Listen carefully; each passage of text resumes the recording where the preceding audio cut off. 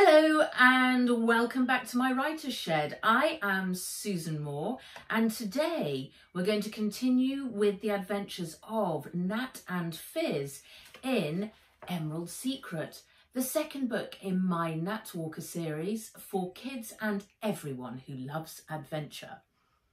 We left off with Nat at boarding school in Boxbury and her cousin Henry had just arrived in from Hong Kong with his mother, the dreadful Aunt Vera, who is wanting to get her hands on Orphan Nat's gazillions. And today we get to chapter 35, Atlantis Fashion. Henry ate up all Nat's school lunch of boiled ham and cabbage. I can't believe you actually enjoyed that, she said, finishing the duck wrap that our Pink had smuggled in for her. Oh, it's better than Mummy's cooking. Since she came back, we've had to eat from her old weekly menu recipes. It was better when she was in the clinic, and Dad ordered noodles for us most nights from Shrimp Moon. Do you remember her Hawaiian tropical sardine delight?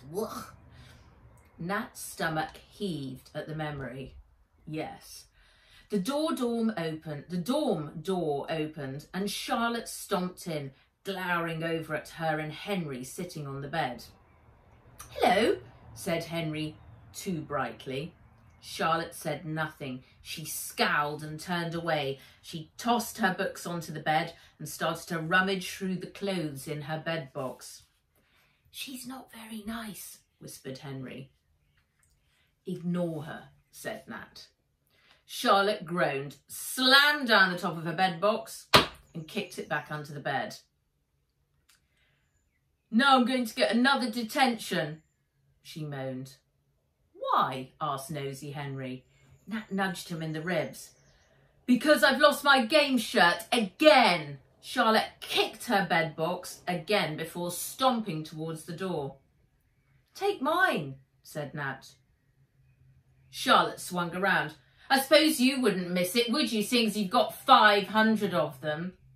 The words were spat out. Actually, I only have one of them, but you're welcome to borrow it, it if it will save you from detention, said Nat.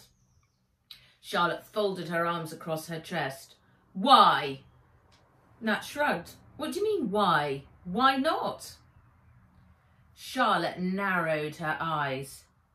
Limpet said to make sure you're all right. He doesn't care a fig for the rest of us. You're his special heiress. You get visitors. You get lunch served up here. I've been boarding since I was eight and I've never been allowed a bird in my room. She stomped off towards the door again. Quick as a flash, Nat leapt out of her bed and blocked the doorway. She was bubbling over with anger. How dare you talk to me like that, said Nat. I might be an heiress, but have you thought for one second that I might not want to be? I'd give anything for a normal life with parents in a happy family. I had a guardian who was my family and he's now dead too. And that's why I have a bird because it was his and now it is under my charge. Limpet is my guardian now because there is no one else to look after me, while my aunt and uncle fight my guardian's clan for my custody and my fortune. Nat was shaking from head to toe. Tears pricked her eyes. She blinked them away. Charlotte was staring at her, wide-eyed. Nat stepped out of the way. Sorry, she said, her head bowed. She'd lost it. It was so uncouth. Charlotte walked past, closing the door behind her. Nat found herself unable to look at Henry in case she cried. The door opened again and Charlotte reappeared. If the offer's still open, please may I borrow your shirt? Nat pulled out her bed box and handed over her shirt. Charlotte took it from her. I'm sorry too. I'm sorry your guardian died and I do like your bird. She sings nice songs. She turned and ran out. Henry whistled. It's more dramatic here than at our flat back at Wetley Towers. Hello! Wen was back on Fizz's screen. What are you wearing? said Nat, sitting down next to Henry. Wen started to twirl. Her silver and aqua blue cape fanned out as she spun faster and faster. The way she'd stitched the two fabrics together made it seem as if the whole cape was a series of ocean waves rising and falling. She spun off camera and then there was a loud crash. Ah, Wen's rabbit robot Foo moved her lens across the room to where Wen lay in a heap of cape underneath her 3D printer. Zoinks, are you all right? said Nat. Wen's head popped up. She was grinning. Like my Atlantis look? It's cool. I've been doing the research. You really have to find this Atlantis place. It's some ancient underwater city. No one knows exactly where it is or what it was like or who lived in it. How's that for a creative clean slate? I am so inspired. Wen jumped up, ran across her bedroom, cape flying and grabbed her drawing sheet off her desk. Look! Nat and Henry peered close in at Fizz's screen. Wen had sketched a girl who looked like a cross between a mermaid and a ninja, spiky hair, shell patterns kung fu trousers and a bikini top. Will Nat have to wear that? said Henry, scratching his head.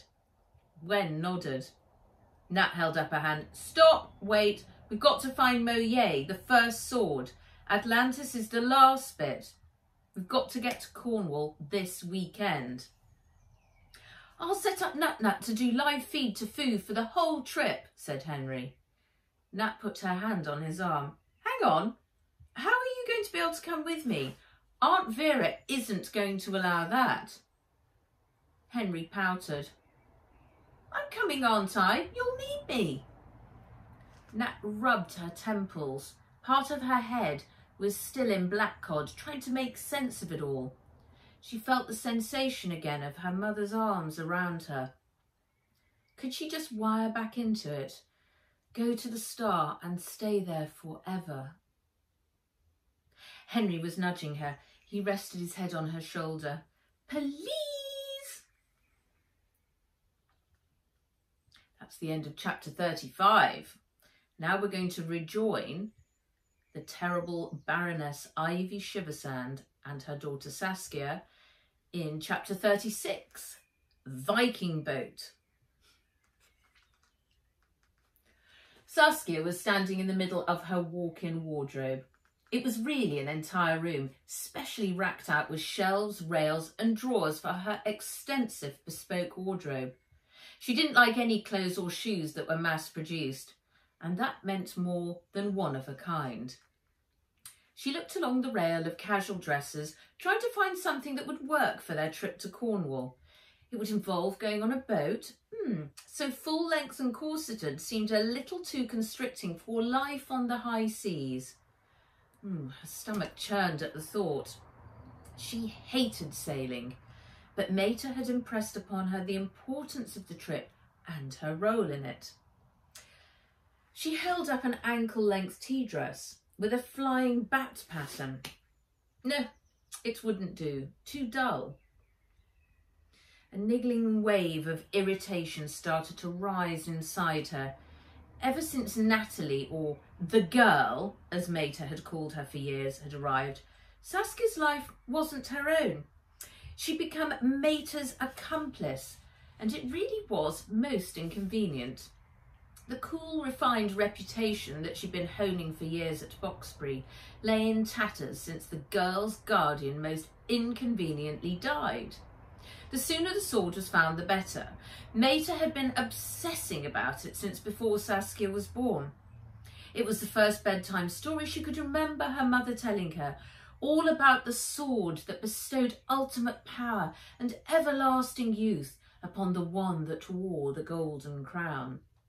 Frankly, she was fed up of it all. And now this stupid trip to Cornwall.